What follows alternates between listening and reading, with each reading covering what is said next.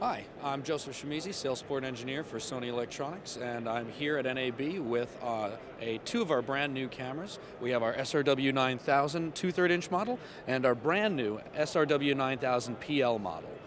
The SRW 9000 is the newest addition to a family of Cinealta cameras that have had a very successful uh, history within the digital, uh, digital cinema community. One of the most significant things that's uh, present in these two cameras, the SRW 9000 PL and the SRW 9000 2 inch model, is that these are native SR camcorders, and this is the first time Sony's been ever ever been able to do this, where we can take our master quality format, HD Cam SR, capable of recording 444 color at 440 megabits and 880 megabits, and do it in the body of the camera itself. So now you can record master quality video in the camera. Some of the other features present in the SRW 9000 that are also carryovers from the, from the 23 and the 35 are the ability to do overcranking and undercranking. There are picture cache modes that are included with optional boards. Um, and they're really just meant to do what film cameras are meant to do. Give you the off-speed capability, give you a wide dynamic range, and also wide color representation. In terms of picture and paint control, at, these, at this level of camera, we try and give you as many handles as you can possibly need. You, have, you can interface with those handles through the camera itself, through things like our assistant panel. Uh, and this comes as an, uh, as an optional accessory for the SRW 9000 so that when an operator is using the camera and you're working in a cine, cine style working environment, the assistant can operate full menus of the camera and even run the camera without ever having to disturb the operator. We've also included our Sony S-Log gamma curves. And what Sony S-Log gamma curves are designed to do is work with the hardware of the chip the heart, which the heart of these cameras, which is their sensors, both the two-third inch and the PL, and maximize for you the most dynamic range that that semiconductor is capable of producing. And in the F-35, and the and the SRW 9000 PL, and the uh, SRW 9000 two-third inch model, you're dealing with 12 stops of dynamic range. Sony recognizes that cameras at this level need to be an investment. So let's say you come in and you need uh, a two-third inch high-end HD camera the SRW 9000 2 inch is a great option for you, but needs change over time. So what we've also now included as a uh, part of the idea of this product is the ability to upgrade. So as time goes on, let's say you need to start doing 35 mil projects or you need that depth of field or that those lunging options become essential for you to do your work, you can upgrade the two-third inch SRW 9000 to, the, to, to a 35 mil sensor SRW 9000 PL.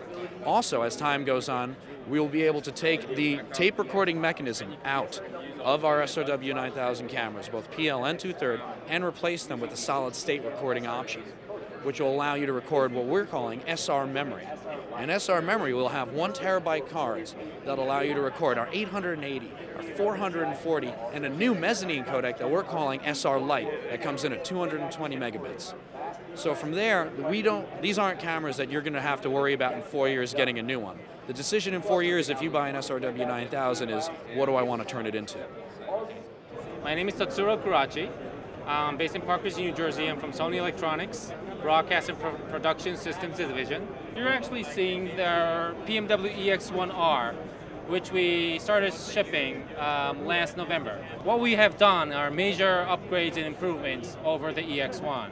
And above, above all, in my personal opinion, the 1.2 million pixel viewfinder is a biggie. Allows the people to have a more crisp focus on the object that they're shooting. XDCAM EX has half-inch full raster 1920 1080 imagers, CMOS imagers. CMOS has better low light sensitivity um, compared to the CCDs. Uh, lower power consumption, which immediately means longer battery life.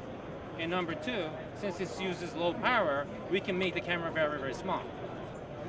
It has two uh, memory slots, and with our firmware, you can record onto SDHC Class 10 cards as well as memory sticks. So the price, cost per minute of the recording has gone down substantially. Uh, we also added uh, the cache recording function on the EX1R. This is a major, another major improvement over EX1. You can record up to 15 seconds of uh, uh, footage even prior to you pushing the rec button. So that enables the shooter to avoid miscapturing the moment you might want to take. What we have right in front of you is the NX Cam camcorder we started shipping uh, this past January. The imager inside is one third inch uh, ClearVid Exmor sensors. It has the, uh, both of best worlds. It enables the camcorder to be very, very small and uh, low power consumption, yet you have the great sensitivity. One thing I might want to also highlight is this HXR FMU 128 solid state drive. And by adding this on, you have almost over 11 hours, 11, not 11 minutes, 11 hours worth of highest bitrate video and audio recording. With this interface, you can hook this up onto your PC, such that from the PC it will look as an external drive. So you start editing while the shooting continues. The number one difference between NXCAM and XDCAM EX is NXCAM is using one third inch imagers, whereas XDCAM is using half inch imagers. So obviously if you use larger sensor imagers, you have better depth of field control, but again, it comes with a price. If you're on a budget but don't want to sacrifice picture quality, maybe NXCAM is the choice of your camera. If you have more leeway in spending, maybe XDCAM EX with the better depth of field control, you might want to reach out to XDCAM EX.